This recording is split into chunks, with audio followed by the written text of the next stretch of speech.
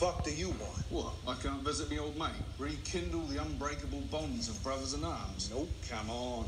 Him in. Bring it in. Look, if it's all the same, let's just cut the small talk. All you're gonna do is lie and say how you're doing fine, and I'm gonna lie and pretend like I'm happy to see you. Why are you here?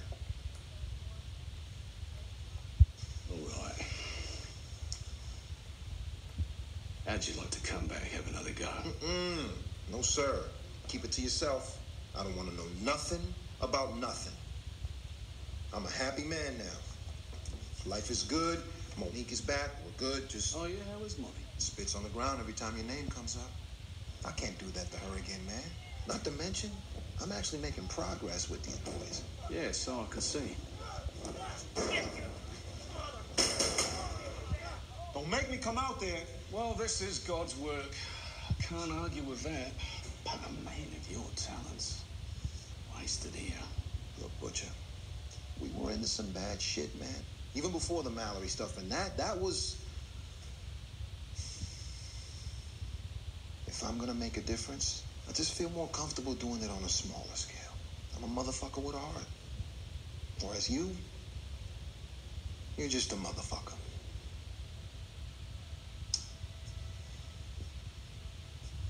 Funny you should mention making a difference. We just dusted a supe. Bullshit. Translucent.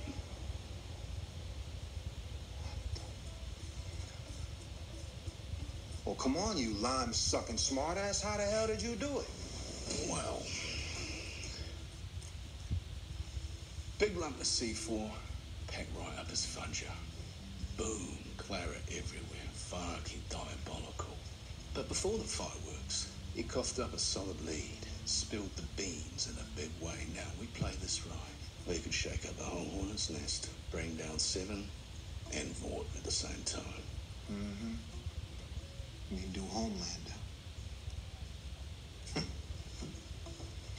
this is about Becca, isn't it? It's always about Becca with you. Uh, you ain't got your reasons.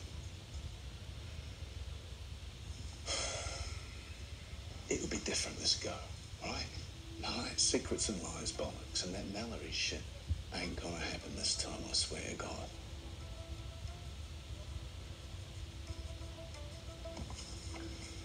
Are you bringing Frenchie back? Because I can't work with that motherfucker. Frenchie, no, I ain't seen him in years. MM, you're the only bloke I can trust.